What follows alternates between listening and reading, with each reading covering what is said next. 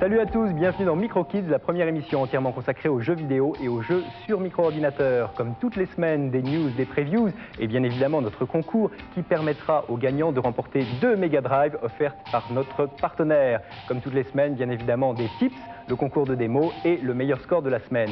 Un reportage sur le FM Town, ce superbe ordinateur japonais qui défraye la chronique et des images exclusives puisque nous sommes allés à Londres au European Computer Entertainment Show à la découverte des futurs jeux qui arriveront pour Noël, des jeux que vous n'avez encore jamais vus.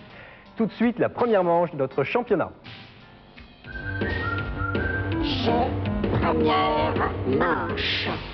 Première manche de notre championnat, deux équipes. Dans le module 1, Jean-Philippe et Georges Alexis. C'est Jean-Philippe qui joue et Georges Alexis qui répond aux questions quiz. Ils sont tous les deux de Strasbourg. Dans le module 2, Christophe et Benjamin. Benjamin répond aux questions quiz et Christophe joue. Ils viennent tous les deux de Meaux. Attention messieurs, est-ce que vous êtes prêts? Oui. Les mains en l'air.